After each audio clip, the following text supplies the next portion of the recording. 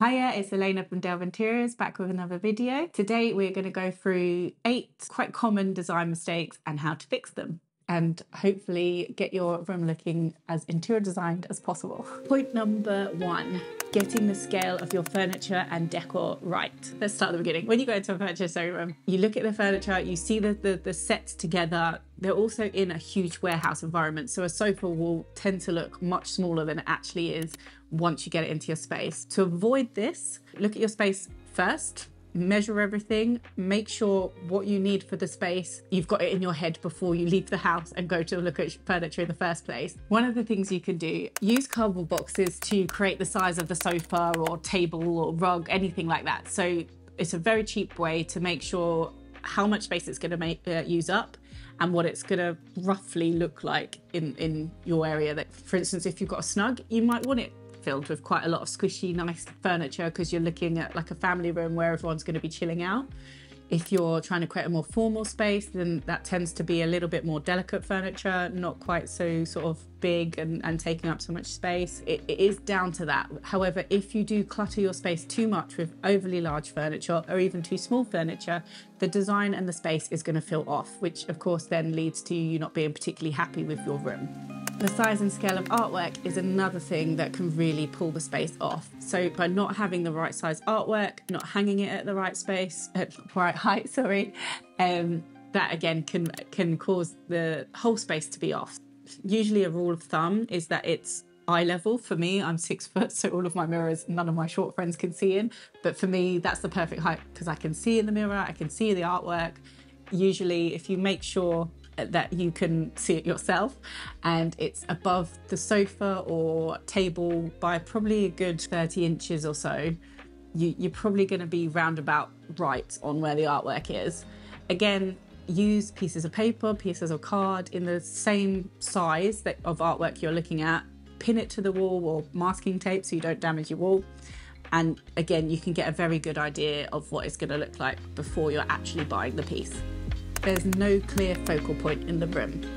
Again, this is another thing that is a design mistake in the sense that it, if you've got too many focal points going on in the room, and what I mean by focal point is usually it's sort of like the main part of the room where your eye is drawn to a sofa or a, usually in a bedroom it'd be the bed because that's usually the main show of the bedroom if you've got too much of that going on again, you're pulling the eye everywhere in the room. It doesn't feel cohesive. It's not a relaxing space to be in.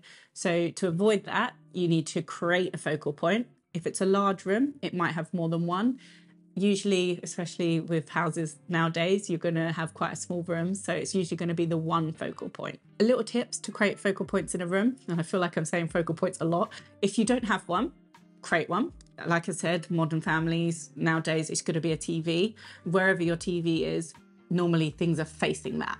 Or if it's a fireplace, which is probably one of the easier ones, if you're lucky enough to have a fireplace, moving your furniture to be facing that fireplace will create the focal point. Effectively, you're just trying to draw everyone's eye to whichever point in that room you want to draw attention to. As I mentioned, even if you've got a small space, a focal point can be created, but if you've got a very large space, this is when you might be creating more than one. Let's take a bedroom, for example. The bed, like I mentioned, is going to be your main focal point but there might be a seating area because you've got a large uh, bay window that you want to create another space in. So you you could have the bed, a seating area, and even if you want to create a wow factor out of it, a wardrobe space. I wouldn't recommend doing this in a very small room, but if you're working with much larger rooms, then creating a number of focal points is actually quite a good idea. It brings uh, interest into the room and it makes it feel more lived in.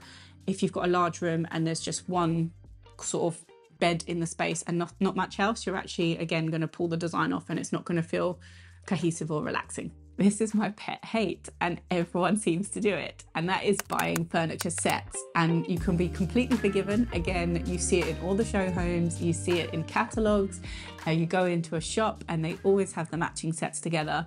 When you actually have it in your home, unless you want the show home look, which is absolutely fair enough, it's not for me, but if it for you, fine. I would suggest mixing and matching. There's no reason why you couldn't buy a matching set, but I think it should be dotted about your home.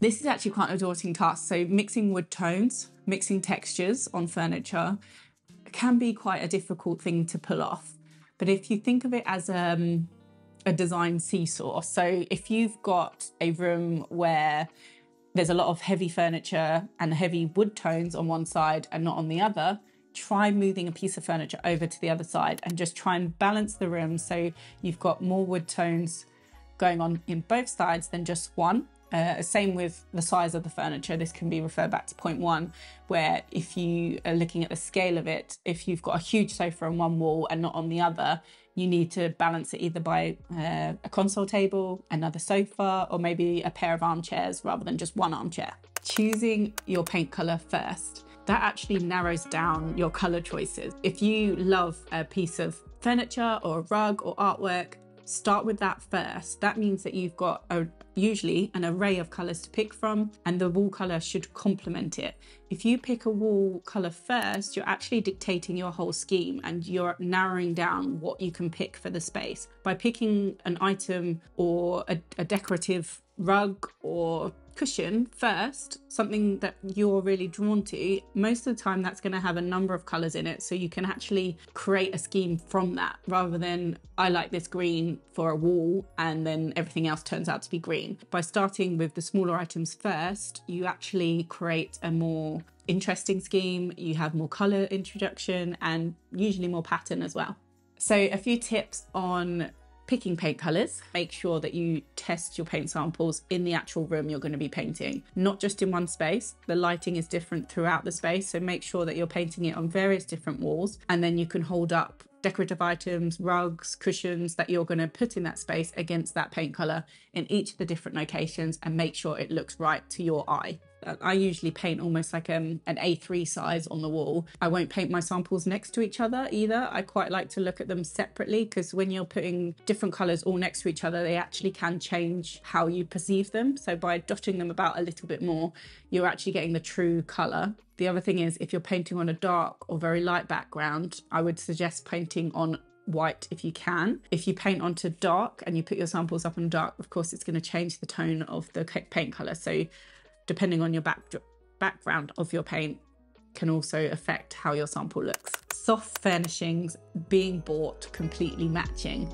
By that, I mean you've gone into, I don't know, for us it would be Dunelm Mill, and you've picked out your curtains and your cushions and your bedspread, and they are all matching. We go back to the fact you're going to create quite a flat design. It's not going to look great. By mixing it up, you're creating personality, adding in color and texture. So you're layering that design, you're creating interest. And there's a few tips as to how to do that. Color, of course, you can get samples so you can hold them against your paint samples and, and any other things that you've already collected for the room. With your curtains, make sure that you're hanging your curtain pole and this is kind of referring back to a previous video where I talked about rentals and elevating a space.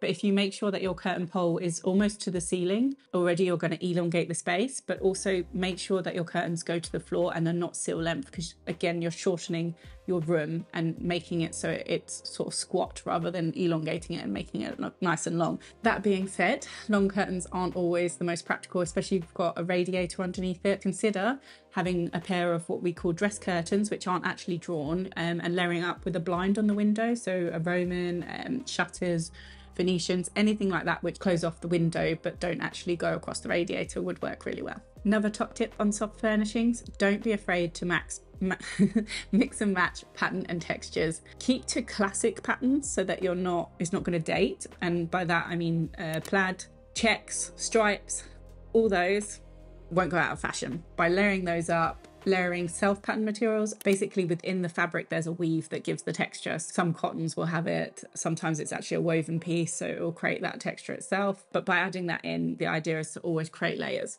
Furniture being against the walls. Furniture going against the wall sometimes is your only option. What I mean by this, it's about forward planning. Good example is a dining table with only three sides that you can actually get to because it's having to be pressed against a wall. That is what I want you to try and avoid. By surveying the space first, making sure you're taking your measurements, making sure that you're trialing either the cardboard box idea or something similar, it will lessen the fact you're going to waste money by buying a piece of furniture too big for the space way you use the space will be affected by how big the furniture is and how it's laid out. A great way of zoning out a space, for example, is to move the sofa to zone the space. It's one of the biggest pieces. It's probably the thing that you're going to most think about. Using the sofa to zone the space or even drawing it forward from the wall can actually make the space look bigger Consider how the space is going to be used. Is there going to be a lot of traffic? Or can the dining table, sorry, be brought into the middle of the room so that people can walk around it? When I first trained as a designer, they used to make you do kind of almost diagrams where you do the, the flow of traffic in a house. I tend to do it mostly in my head, which probably isn't the best way, so don't copy me.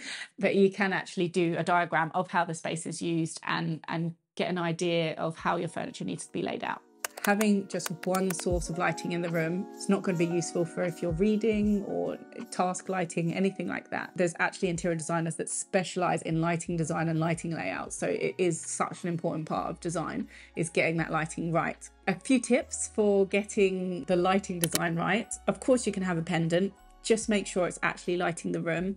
I have central pendants everywhere in my home, but I tend to add task lighting. I don't have many plug sockets despite the, the rewire, so I introduced uh, the lamps. You can actually get a lot of battery operated lamps now, which is fantastic. In my built-ins, I actually don't have any wiring to them. So you can actually get art lights, which are battery operated, and you can get battery operated, operated light bulbs for your lamps. So that's anywhere where you want to create almost like another zone where you're going to read in your armchair, lighting to a piece of art.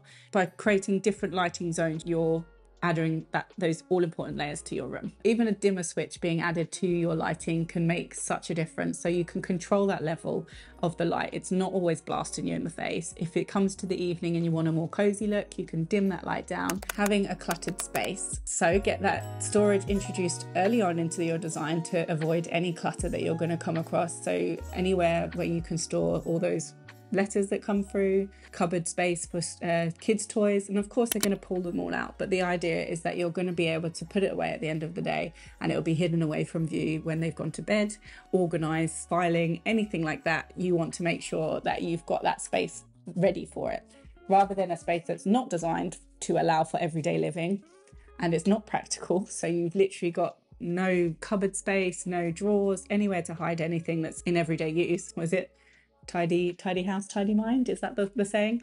You want to have a, a, room where you can hide that away and you can have a nice relaxing atmosphere where you don't have to look at your own mess. Introducing strong wallpapers or patterns. The main design mistake that people make with introducing a, a large pattern a strong pattern or a strong color wallpaper is that they only do it in one bit of the room. So you might have, well, a feature wall, which I don't necessarily like a feature wall, but it, it's something that a lot of people still do. And a feature wall will then create a focal point in the space, which is exactly what you should do. However, the mistake is that you don't introduce that color, pattern, or texture anywhere else in the room.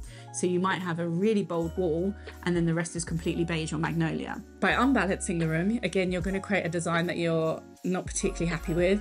The room will feel off by introducing that balance, bringing the pattern throughout the room, introducing it not necessarily the same pattern, but introducing the colors from it, introducing slightly clashing patterns just throughout the rest of the space. You're going to create a balanced environment which will look great. So, hopefully, by me saying which mis- design mistakes happen, you'll avoid them and avoid any costly mistakes. I hope you've enjoyed the video today. Make sure you smash that like button